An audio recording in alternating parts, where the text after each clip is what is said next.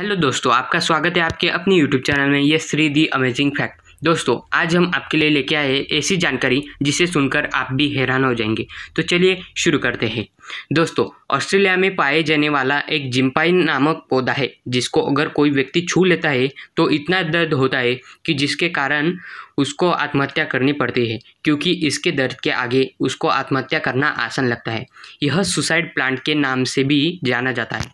दोस्तों आपको यह जानकारी सुनकर कैसा लगा? प्लीज़ चैट सेक्शन में लिखना मत भूलिए और वीडियो को लाइक, शेयर एंड चैनल को सब्सक्राइब करना न भूलें धन्यवाद।